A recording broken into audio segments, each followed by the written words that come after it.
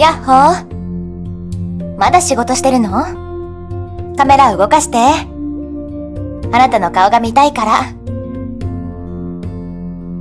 髪の毛長くなったね。髭も剃り残しがある。早く帰ってきて。剃ってあげる。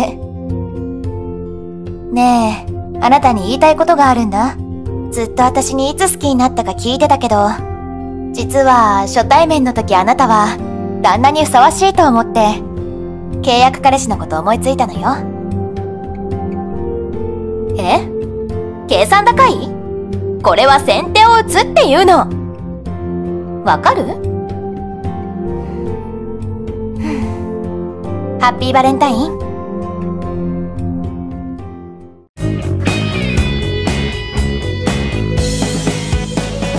謝ってもらうわあなた正気 ?2 番目のおばさん3番目のおばさんファイト。カメラに向かって僕が鬼で2人は隠れて。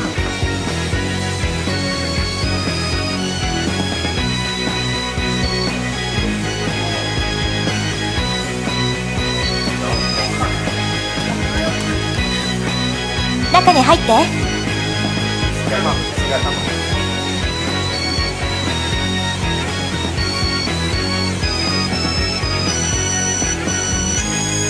恋さん。もう帰って。みんな私を笑ってる。ゆえせやるね。姉子の方がいいでしょ。そのまつげパーマかけるの？また私を